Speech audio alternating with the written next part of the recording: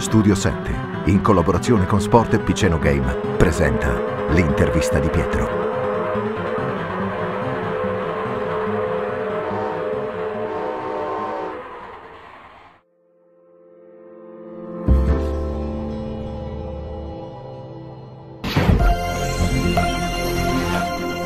Se un giovane deve iniziare a fare fumetti, eh, come si deve improntare? Che cosa deve fare? Tutto innanzitutto deve partire da una grande passione perché a meno che non, non, è, non sia un talento innato eh, può essere che tu abbia la capacità innata di disegnare il classico virtuoso. Ecco in quel caso diciamo che potrebbe essere un eh, un lavoro piuttosto lungo, fatto con eh, una grande forza di volontà, molta costanza e un po' di spirito di sacrificio. Ehm, a questo ci devi aggiungere sicuramente un, una buona dose di didattica, per cui eh, o cercare dei corsi, e oramai in Italia ci sono delle buone scuole di fumetto, eh, oppure frequentare Accademia di Belle Arti, l'Istituto d'Arte, mm, vari licei. Anche solo mm, tentare di conoscere altre persone che come te hanno la stessa passione può aiutare per eh, eh, diciamo eh, progredire eh, nel disegno o nel fumetto in questo caso particolare. Ma eh, ti potrei rispondere in due modi contraddittori, nel senso che potrei dirti che non è cambiato niente, ma che nello stesso tempo è cambiato tutto. Cioè, il fumetto è un linguaggio che sì, ha avuto un'evoluzione, ma è rimasto comunque legato alle sue radici, nel senso che si esprime attraverso il susseguirsi di vignette e quello funziona ancora così. È una serie di disegni con dei balloon e quello è ancora così. Eh, ci sono stati artisti bravissimi sia nel passato, ce ne sono altrettanti, altrettanto adesso. Riguardo alle tecniche forse qualcosa è cambiato perché mm, oramai con la tecnologia eh, ehm, alcuni passaggi sono spariti addirittura sono spariti gli originali, nel senso che ci sono alcuni disegnatori, per esempio, che fanno tutto direttamente al computer, lavorando su queste tavolette grafiche e quindi eh, inventando il disegno direttamente eh, nel video. Ecco, questo può essere forse la cosa più evidente mh, dell'evoluzione del, del fumetto. ah, beh, Oddio. Eh, una domanda qui. Una domanda, sì, ci dovrei pensare. Prima ti stavo rispondendo Gordon, Flash Gordon, perché è il, è il primo fumetto che ho letto probabilmente, perché lo leggeva mio padre. Eh, però la seconda parte della tua domanda mi fa pensare ad un fumetto che, che mi piace, nonostante sia brutto. Beh, sì, probabilmente c'è.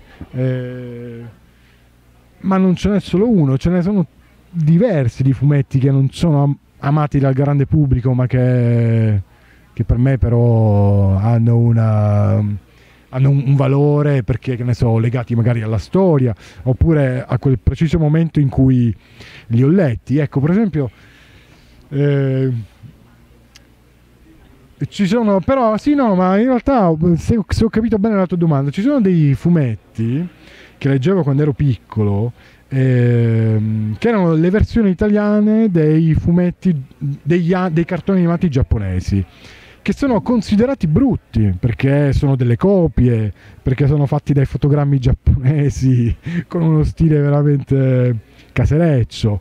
Eh, però quando, guardo, quando riguardo quelle tavole a casa, eh, a casa dei miei, dove sono conservati questi fumetti, per me hanno un valore incredibile perché sono legati a, appunto alla mia infanzia e nonostante riconosca diciamo, la, la, mediocrità, però in realtà per me sono bellissimi e alcune volte quando faccio i miei disegni mi rendo conto che ehm, la mia impostazione è dovuta anche a quelle immagini, a quei disegni che ho, che ho visto quando ero più piccolo.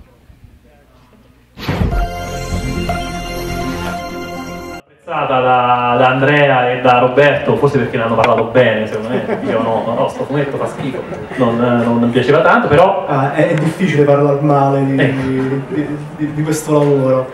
Allora, la cosa che mi ha veramente più stupito è proprio il, il circolo che si chiude, il cerchio che si chiude tra uh, samurai, storie di samurai, western griglia di Tex e che si ritorna di nuovo al, al coso e è veramente stupenda e si ritorna all'Oriente, questa cosa è veramente stupenda.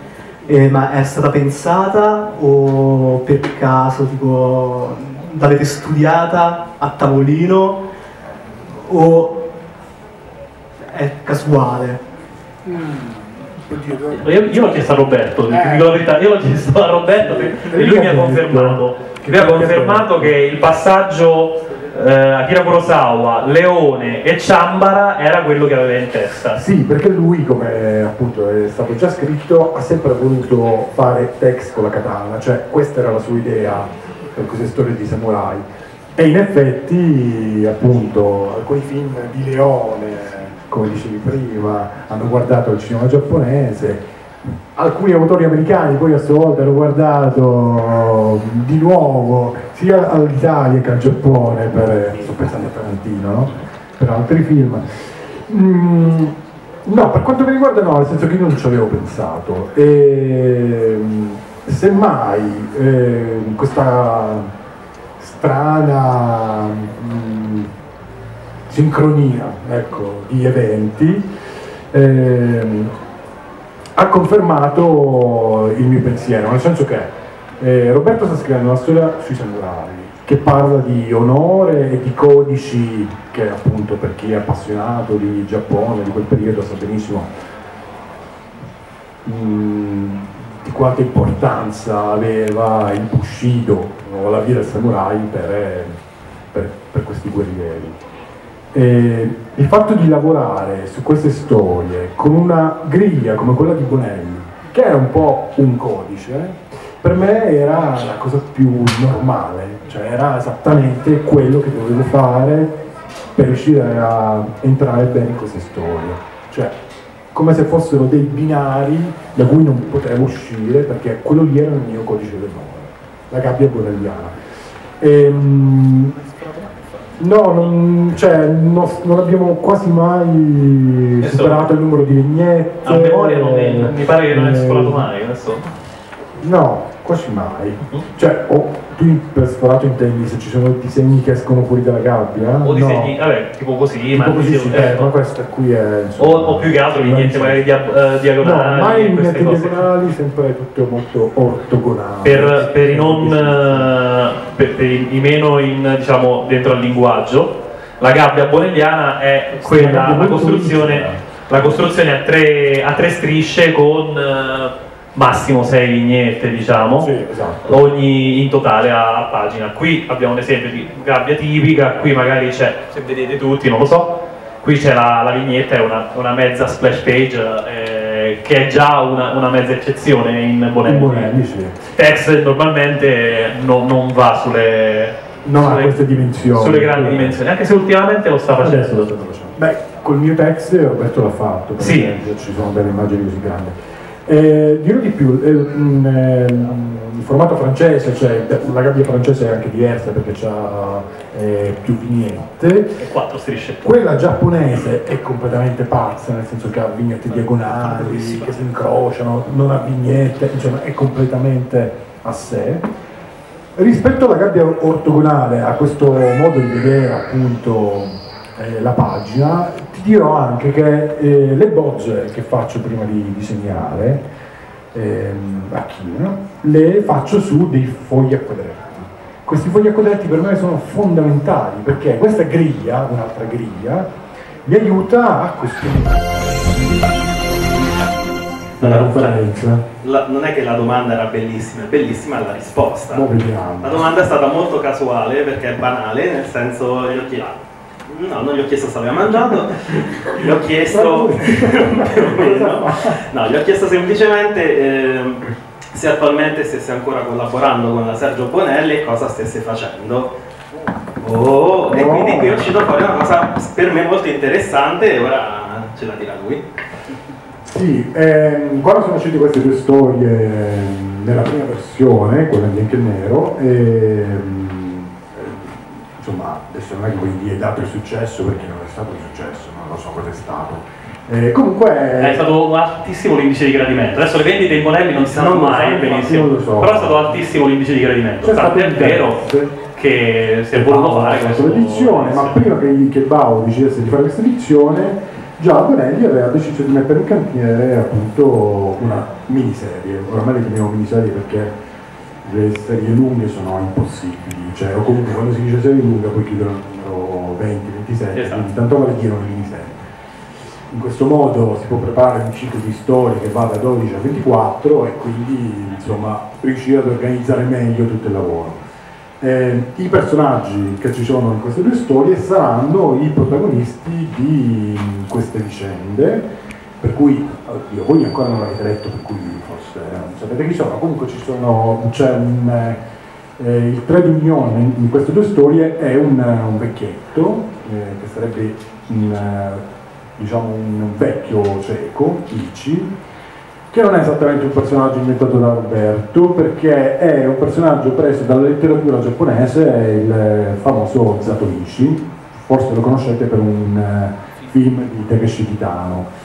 In realtà è un personaggio su cui sono stati fatti una miriade di film in Giappone e, e Kitano non è quello più importante. Ehm, infatti il personaggio che ho disegnato io in realtà si ispira al, a- all'attore principale che ha inter- interpretato Zetoichi che è Shintaro Katsu, si chiama così, Eh, ehm, che è un attore bravissimo, famosissimo, ed è lui che mi ha ispirato per eh, il suo volto. Ehm, oltre a lui poi abbiamo un giovane samurai che è, è il suo maestro, che però vabbè, non dico. Ehm, è una giovane, una nobile ragazza che insomma si trova in cattive acque e per questo dovrà, diciamo, che, e per questo subisce diciamo, una trasformazione. E tutti questi personaggi insomma, si riuniranno e comincerà un viaggio in questo periodo Edo, eh, non tanto fantastico nel senso che, che comunque sono sempre storie che hanno mm, una struttura piuttosto realistica. Eh, un viaggio in Giappone con questi personaggi che avranno delle avventure. Ehm, se vi interessa il tema direi che insomma, la serie potrebbe Quindi serie da 12 numeri per ora, è la prima. per adesso 12 numeri, sì. Eh, non tutti disegnati da me, è chiaro. Esatto. Cioè, Infatti io non ti la per chiedere- No, la chiedere farei. Io- autori. Io ci metto un anno per fare una storia del genere, per cui sarebbe impossibile eh, organizzare una serie con, con me disegnatore. Io farò i primi due numeri e dopo ci saranno altri eh, disegnatori e an- neanche sceneggiatori, immagino, di- della scuderia Bonelli, che ancora non- però non posso... Non puoi rivelare. Cioè, alcuni sono quasi ufficiali. eh, Io scommetto su Werther dell'Edera. Bravo, Ah! Eh, anche perché lui ha già. Tra lui ha già un'esperienza con Roberto sui samurai, perché il numero di John Doe, che è quello che poi per me è stato proprio fonte di ispirazione, eh, era ambientato proprio nell'epoca Edo. Eh, John Doe ritornava nel passato, c'era questa avventura con dei samurai. Eh, un Nel caso, altro nel caso vi interessasse anche Doe adesso verrà ri- ripubblicato in mega volumoni, Esatto. un paio, no, sempre, dalla, sempre dalla Bao e ci sono no, no, io credo che faranno almeno la prima stagione la faranno tutta. Qui sono 99 numeri comunque. Sì, sono tanti, però si vogliono imbarcare in questa impresa. Ehm, un altro disegnatore che è quasi sicuro è Luca Genovese, che adesso sta disegnando, che ha disegnato, di, ha disegnato Orfani con eh, Colberto, che è Beta, esatto, uno degli autori di Beta, che è questa storia sui robottoni giapponesi, Mm. bellissimo, e che adesso sta facendo anche Android. Questo no. Sì, è una, una novità. Spoiler. Ehm, Qui sarà anche Vanzella, scommetto.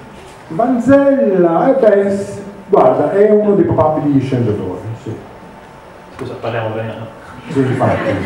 Vanzella è autore di beta, nonché sceneggiatore anche lui di Dylan Dog su The Color Fest, e anche su dei numeri però... Su Orfani mi sa che ha scritto pure un Su Orfani ha scritto anche una storia, sì, insomma, è...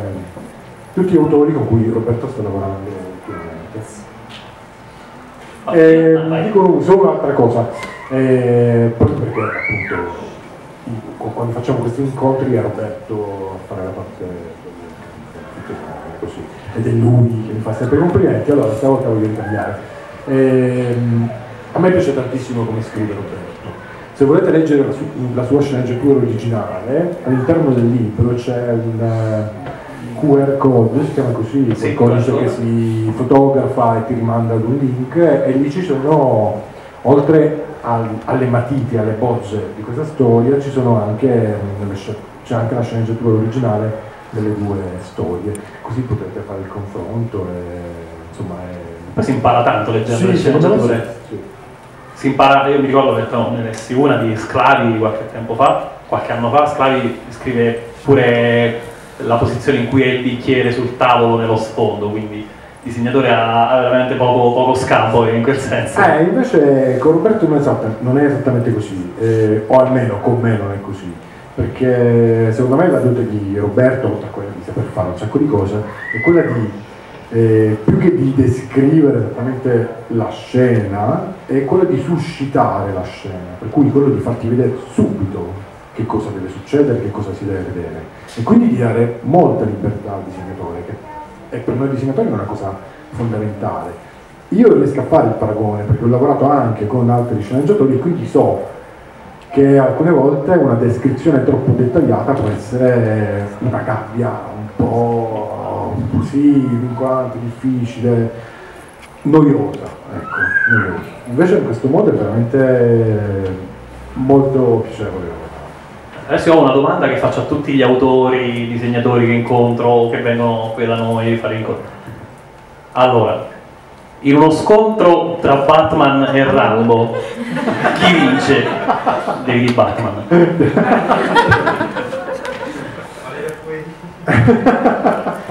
Batman. Eh, un applauso.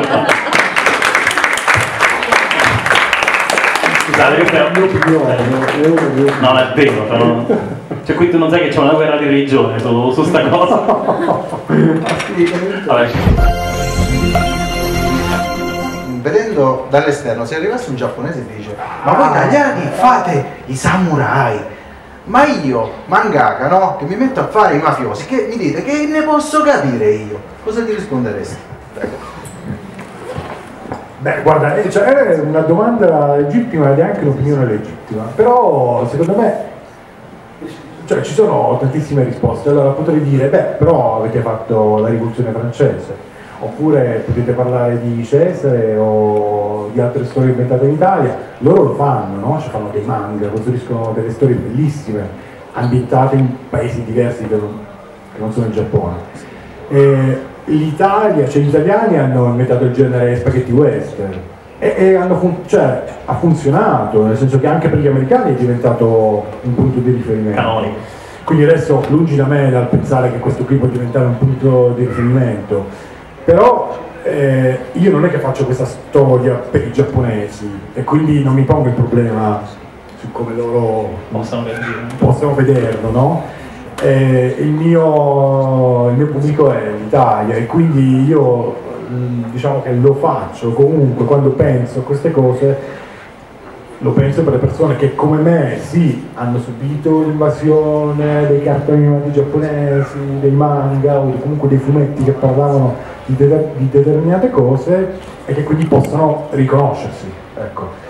Ehm, però io ci penso sempre a questa cosa e, e ho paura a chiedere. Io a Keiko non ho mai chiesto che cosa ne pensasse di questa storia, perché ho paura, perché so che mi direbbe che i personaggi non sono giapponesi. Cioè, ed è vero, eh, per quanto mi sforzi di fare gli occhi a mandorla, non ci riesco. Cioè, e sono più a mandorla gli occhioni grandi di Candy Candy che i miei che sono allungati, per quanto mi riguarda. Considerando che i disegnatori giapponesi non fanno i giochi a Consider- mano, fanno appunto, gli occhi esatto, però quando li guardo io eh, quelli là li vedo giapponesi e i miei no. E quindi ho sempre questa paura no? di confrontarmi con questa cosa. Però finché rimango qui in Italia direi che, che è legittimo, cioè posso farlo. Non sono il primo tra l'altro, ehm, ci sono molti disegnatori francesi che si sono sì. cimentati su queste storie. Ce n'è uno che ho guardato tantissimo che è un disegnatore morto, si chiama Gigi, che sì lo so che dice poco, però ha fatto Ugaki, due storie, eh, sono state pubblicate anche in Italia molto tempo fa da non era Alessandro, l'isola trovata se non mi sbaglio, l'isola trovata. Ah, sì, sì, sì, no. E, ehm, beh, perché volevo vedere proprio come, siccome stavo leggendo un sacco di fumetti giapponesi, guardavo moltissimi film, immagini giapponesi, però volevo, ero curioso di vedere come un occidentale eh, potesse rappresentare questo paese e quindi avevo guardato lui. E i francesi quando fanno queste cose qua però sono bravissimi, cioè, e se ne fregano del se sia legittimo o no. Eh, insomma, ragazzi, mediamente mi dispiace averlo fatto, ma normalmente si organizza. Io... Studio 7, in collaborazione con Sport e Piceno Game, presenta l'intervista di Pietro.